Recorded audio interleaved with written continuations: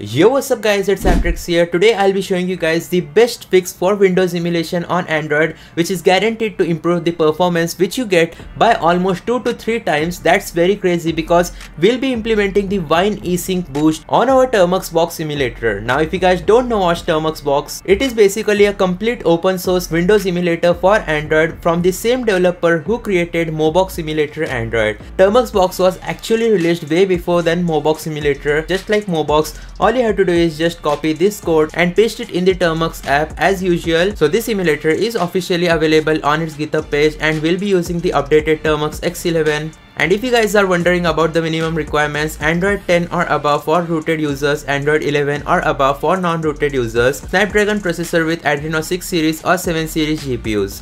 Once that has been done, let's just go ahead and open Termux app. Afterwards, just paste the code for the Termux box simulator. Now be sure to watch the video till the end properly because we'll be enabling the Wine eSync which is a brand new fix for Mobox as well as Termux box. Basically in Mobox you need a rooted device but in Termux box you don't even need a rooted device. And as you guys might know even Termux box is capable of emulating games like GTA 4, GTA 5 and many others just like Mobox simulator but unfortunately it has not been kept up to date till now because the developer created Mobox simulator with Vulkan support which is superior to normal Termux box Nonetheless, with the help of Wine eSync, it will be way better even than Mobox Simulator Android. So let's wait until it is set up and I'll show you guys the important steps. The first important tip is that during the setup, it will ask you which wine do you want to use. Make sure to select the Wine 8.2 staging Afterwards, tap on the enter button. Our Termux box simulator will be successfully set up. You'll have to use the proot containerization method. So just go ahead and type 1. Afterwards, tap on enter. While it's being set up, let me show you guys the additional Termux X11 settings which you need to use. So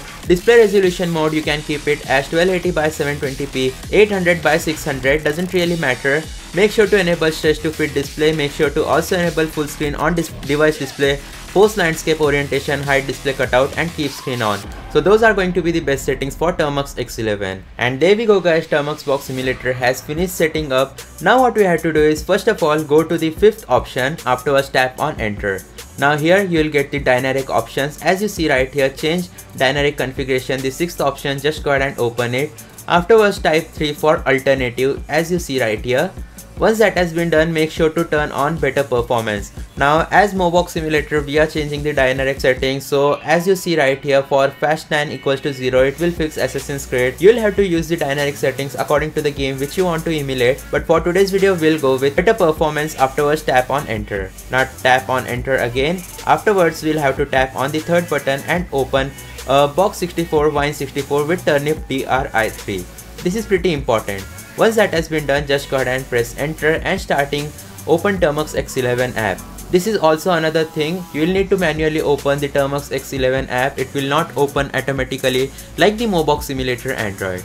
And there we go guys, our Termux box simulator has successfully started. The next step is going to be to tap on the start button, afterwards go to the third section and make sure to add the D3D as DXVK asynchronous 1.10.3 the same DXVK which we use with Mobox Simulator Android. And now we'll add Mesa drivers. So right here you'll be able to see we get the options for Turnip Adreno 7 DRI3 but we'll only have to use the Turnip main DRI3 and this method is only for Snapdragon processor Android devices. So for MediaTek processor devices you can't really expect much from Windows emulation on Android. And there we go. We have successfully set up the Turnip Sync as well now what you have to do is just go ahead and close the Termux box simulator and execute some codes. So just go ahead and type 1 and tap on enter. Termux box will be successfully stopped. Now we'll have to input some commands. The first command is going to be very simple. Just go ahead and copy this and paste it in the Termux app. So let's just go ahead and paste this command. Afterwards tap on enter and you shouldn't get any messages. Once that has been done, let's go to the optional section. Make sure to copy this and paste it right here and then press on enter. Afterwards copy the third statement. Just go back to Termux emulator,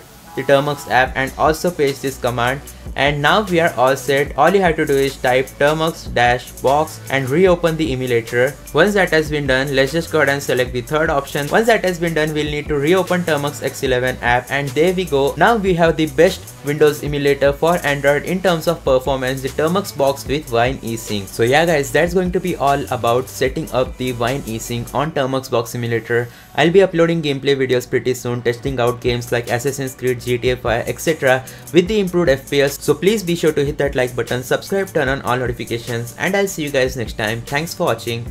Goodbye.